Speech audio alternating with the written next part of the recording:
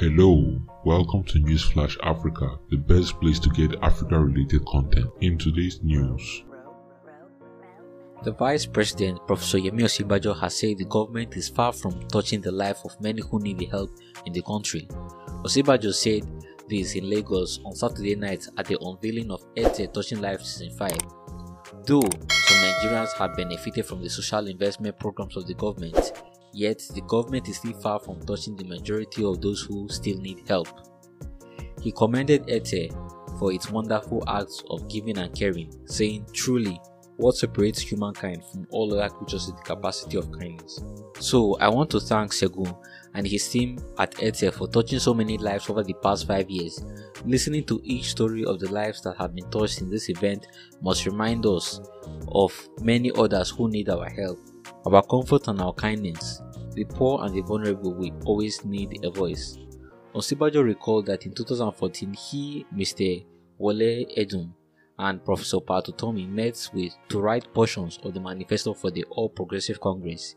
He said they all agreed that the fundamental aspect of the party plan must be to create a soc- social safety net for the people of the country.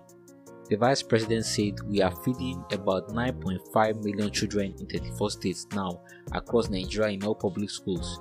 We are giving monthly cash to about a million households as part of our conditional cash transfer scheme.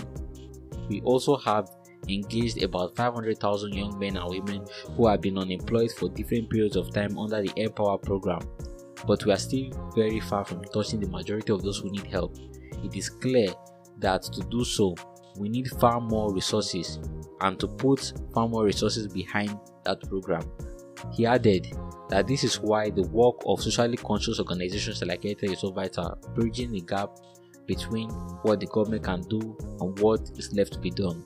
So as to celebrate the 50 the fifth year of this program, we, we congratulate you and pray for all members of the Airtel team and their families, and that they should continue showing great kindness to many, and they shall also get in return.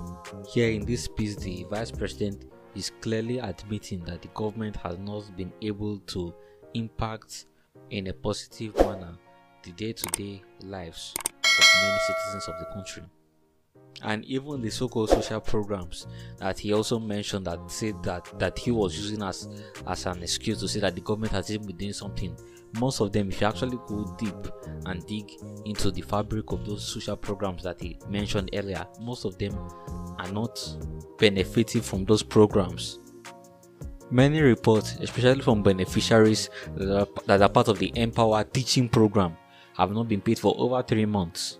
This is a program that just pays right right above or just exact the exact minimum wage that was just signed into law recently. The average N-Power payments for the teaching program is between 28 to 30,000 naira, right about the 30,000 naira mark that was set as the new minimum wage. So you have these youths being paid at minimum wage, and most of them will end up depending on this wage. Many will just be surviving from salary to salary and despite this very very low salary that they're being paid for the strenuous work that they do on a daily basis their salaries is still being delayed for months. I've personally personally never heard a senator going to complain that they they, they, delay salary or a house of representatives a member of the house of reps go and they uh, go to the news and start complaining that they delay their salary. I've never heard a governor complaining that the salary wasn't paid or a deputy or even a commissioner but you'll always hear civil servants, teachers, people that are actually doing the work on ground, their salaries are being paid, are being delayed.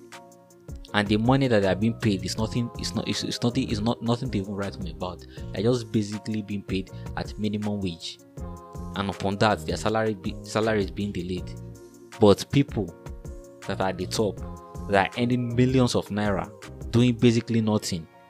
This these are people that are supposed to set and implement policies they not only do a bad job at it, but at the end of the day or at the end of the month, they still go home smiling to the bank, knowing that their salary are being paid.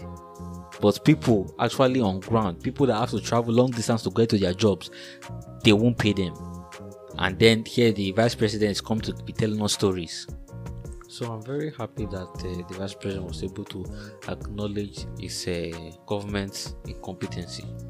Even with the current school feeding program, many vendors that are providing the food are complaining about the amount being paid to them, stating that the amount that is being paid to them is not enough to cover the cost of them providing such meal to the kids. These are few among the many cases and issues facing the so-called social initiative that have been made by the government. And it is very saddening that for once the government has said the truth that yes, the government has not been able to provide policies that will translate into the physical, emotional, and financial well being of Nigerians. Well, those are my thoughts on the matter. Please do join me on future videos. If you enjoyed this video, please like, drop a comment below, and also subscribe to be notified of future content.